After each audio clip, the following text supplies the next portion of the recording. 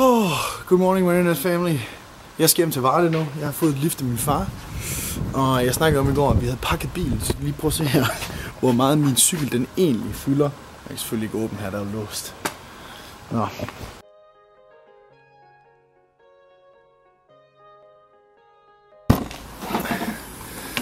Jeg må det er en kæmpe stor cykel. Og så har jeg fået sådan nogle kasser her til mit kameraudstyr, når vi er ude på uh, assignment. En stor og en lille en. Og ja, det spiller bare så meget. Everything just seems so right. You are my sunlight shining through. Vi holder lidt hurtigt stop uh, over ved mekaniker, fordi at min far han har glemt sin GPS derovre. Så uh, den skal vi lige have fat i, og så ruller vi afsted med Aarhus. Ej, jeg glæder mig til at se Nina igen, mand. Det er sådan helt vildt det går lige op for mig, at øh, jeg glemte fuldstændig at vise jer i alle de her syv dage, jeg har været hjemme. Jeg har glemt at vise jer, hvad Esben han har gået all in med. Esben han har købt et hoverboard. Og der hvor pølsen den så ligger, det er, at øh, de der folk, som har sendt ham hoverboardet, de har sendt ham en defekt en. Så det vil sige, at øh, der er to printplader inde i den, som er gået i stykker. Der er råd en skrue ned på i fragten, som simpelthen har kortsluttet lortet. Så øh, jeg vil ikke vise jer den, fordi at det var sådan lidt antiklimaks, at den må gå i stykker.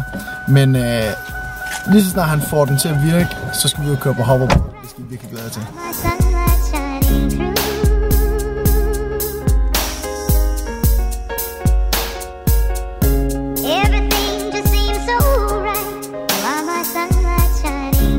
cirka 40 km her uden for Aarhus, der er vi bare kørt ind i hardcore kø. Og jeg ved ikke, om der er sket uheld eller hvad der er sket, men der er i hvert fald bare kø, så langt det øjet rækker.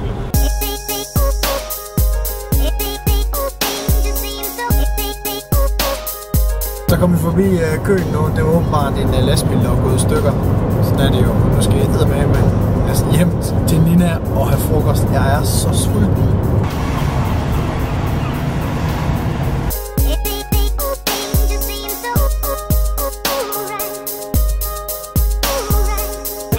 Jeg når nærmest kun lige komme hjem. Så finder vi ud af, at det er vores tur til at gøre øh, opgangen ren. Oh, vi lige ordnet øh, alt udenfor med øh, rengøring og alt muligt ting. Og øh, så vil jeg bare lige sige, at øh, jeg skal over til Guldtuben her. Øh, når I ser den her vlog her, så er der en en dag til, vi skal til Guldtuben. Det er den 1. august. Så til at komme over lidt før, nemlig awardshowet starter klokken, øh, klokken 6. Og der er vist et eller andet øh, rød løber, eller ting og sager øh, ved femtiden. Så kom det over lige få en high five, lige få taget et billede eller et eller andet. Og øh, oven i det, så vil jeg så sige, at efter guldtuben øh, den 2. august, der kører jeg sammen med hele Team Splay til Skanderborg Festival, hvor vi laver en splay camp, hvor I kan komme over og hænge ud sammen med os. Kom over måske lige at få en lille øl. Jeg er der ikke nok. Jeg er der ikke gammel nok. Eventuelt sodavand. Og øh, der er vi i hvert fald fra den 2. august til og med den 5. hvor det er officielt Splaycamp.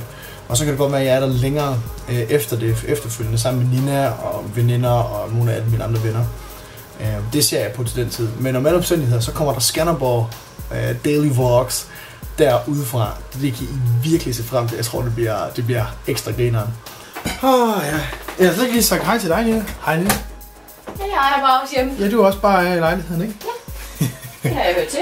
Det har du hørt til. Er du, kitchen. Er du klar til Skanderborg Festival, eller Jeg er så klar. Altså, jeg har været prepper den sidste halvanden uge. Altså, dem der mine venner, der arbejder fuldtid, de er sådan, tager sammen. Altså, vi, jeg forbereder alt. Altså, det vil sige, det du er, du er en af dem, der er prepper til, når der kommer zombie apocalypse, ligesom i USA. Altså, jeg vil kunne overleve til hver festival lige nu.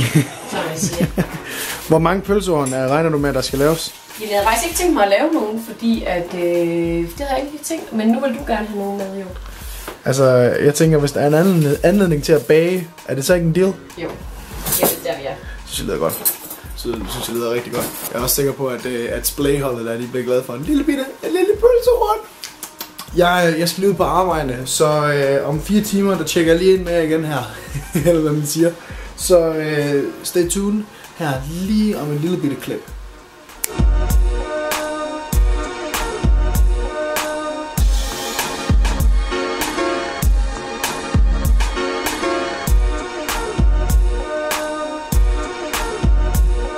Så lige kommet hjem fra arbejde, og nu skal I skulle lige se, hvad jeg har købt her. Alle mulige små lækre gadgets. Jeg havde bestilt en farlig masse udstyr her, inden, øh, inden jeg cyklede hjem, men der var ikke noget af det, der nåede at komme andet end de store tasker, som I har set på min cykel. Så øh, jeg har bestilt ekstra batterier øh, til mit vlogging-kamera, så nu har jeg 1, 2, 3, 4, 5, 6 batterier øh, klar til nu her, når vi skal på Skanderborg. Bum, så har jeg bestilt sådan nogle, øh, sådan nogle hvad fanden hedder de, klemmer til, til cyklen og til alle mulige steder, hvor man kan sætte dem på. Pisse nice, dem har jeg købt tre af. Øh, og så har jeg købt en mini-pumpe, mini-cykelpumpe. Genial at have, den kan man lige sætte på under stangen, så man altid har øh, cykelpumpen med. Og et altså fantabulous øh, cover, der kan sidde på øh, foran på cyklen, som I har set her til aften. Og så sidder ens telefon her i. Så her nedenunder, der er der plads til alt muligt forskelligt. Man kan fx have en powerbank liggende her. Man kan have ekstra SD-kort, man kan have alle de ting, som man nu skal have med på cyklen. Muy, muy, muy, muy bueno. Så Internet Family, jeg vil sige tak fordi I sidder med her i dag on the vlog. Og Internet Family, jeg vil sige tusind tak fordi I sidder med on the vlog. Jeg vil uh, sætte øh, uh, batterier til at oplade, og så vil jeg lige edit til vlog. Uh, for i morgen der skal vi til Ninas mormors 75 års fødselsdag. Øh, dejlig ung kvinde. Så det bliver skide hyggeligt. Og så tager vi til guldtuben dagen efter. Skanderborg lige bagefter guldtuben. Puh, ja. Og så har vi lige fået dato på øh, reeksamen. Den har jeg lige set en mail på, og det er den 14. august. Og det ligger oven i podcasts, video editing, alt muligt. Så det skal nok blive rigtig interessant øh, at få det til at gå op i en højere enhed. Så vi ses i morgen friske as the usual. Kan I have det godt, og vi ses over til guldtuben. This could be the start of something new. Maybe I could brighten up your days, filled with skies so blue. And on cold nights, I'll make the soul shine bright through your body with the brand new feeling. So hold tight. And honestly, I thought that I was passing through that night that I met you.